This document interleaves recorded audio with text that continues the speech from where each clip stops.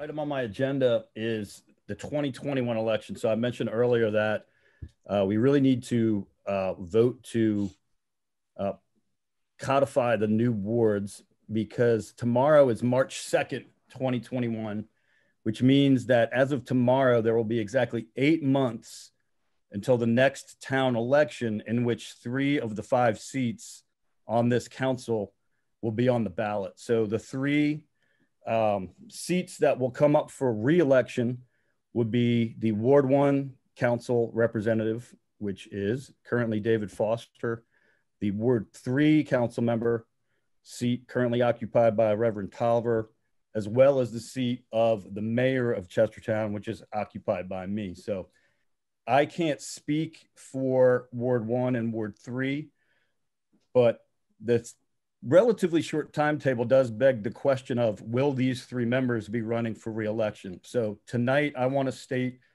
publicly for the record that I will not be seeking a third term of office as the mayor of Chestertown. Um, I know for people that know me well, that are kind of in my inner circle or my work circle, this isn't going to become as a surprise, but I think potentially for people that kind of tangentially follow the mayor and council, this may be somewhat surprising.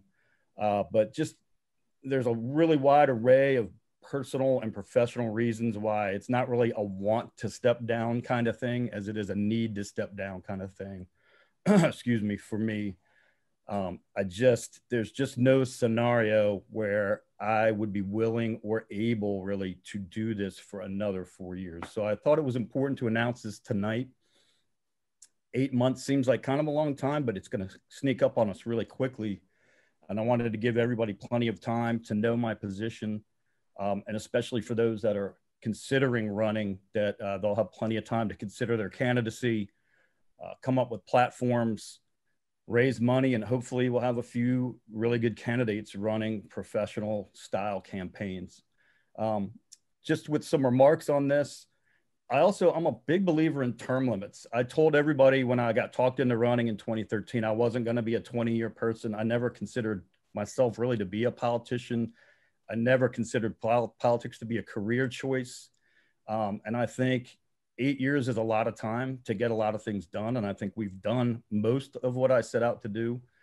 Um, but I also think it's really honestly good for the town to get new people with new energy and new ideas, new set of eyes on the budget in place um, and when you have politicians that just continually run for office for 20, 30 years, like we see in DC, you end up with people that basically are in it for themselves.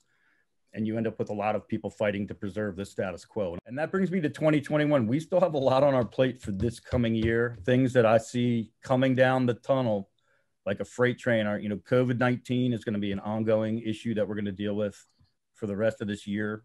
Um, I think our budget talks could be interesting. I, I, would love to finally get some money allocated for paving streets. I know many of our residents are starting to notice that we haven't done that in a while, and that's completely legitimate feedback. Um, I can tell you all that the hospital is going to be proposing a model for how they envision their setup as a rural healthcare facility in about a month. And then they're going to be having town hall meetings around the county, one of which is going to be hosted by us. And I think that's going to be very interesting. Um, I know that later this spring, and probably early summer, the, the oil spill is going to rear its ugly head again.